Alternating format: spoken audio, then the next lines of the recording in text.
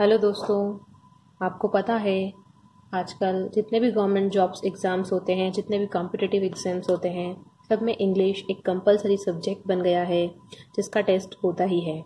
और सबसे ज़रूरी चीज़ ये होती है कि English reading habit of English reading जब तक आप इंग्लिश को पढ़ नहीं पाएँगे तब तक आप उसमें कुछ भी कर नहीं पाएँगे। सो so, सबसे ज़्यादा ज़रूरी है कि आपकी पढ़ने की हैबिट बन जाए। पढ़ने की हैबिट बनेगी तो धीरे धीरे आपके साथ साथ में वॉकबलरी भी अच्छी होती रहेगी। और साथ ही साथ इसमें कई बार हमने देखा है कि स्टूडेंट्स जो हैं वो बहुत निराश हो जाते हैं, तैयारी करते करते एक साल, दो साल उनका नंबर नहीं आया तो बहुत सारे लोग हार मान लेते हैं। तो ये जो बुक है, आपको समय समय पे मोटिवेट भी करता रहेगा। सो आप जैसा कि देख पा रहे हैं, ये निक वुजी सिक की एक बुक है life without limits okay life without limits आप देख सकते हैं पिक्चर में, इनकी फ्रंट पेज पे न इनके हाथ हैं, न पैर हैं। फिर भी ये पूरी दुनिया के अंदर बहुत ही सक्षम है। एक जनरल आदमी, एक सामान्य आदमी से भी ज़्यादा इनके अंदर टैलेंट है। सो so, आपको पता चलेगा कि इन्होंने किस तरीके से अपना लाइफ स्पेंड किया है अभी तक।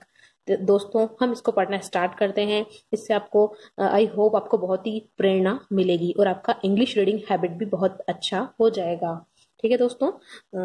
Updated with new afterword from Nick okay life without limits एक ऐसी लाइफ जो सारी लिमिट्स से परे है दोस्तों okay inspiration for a ridiculously good life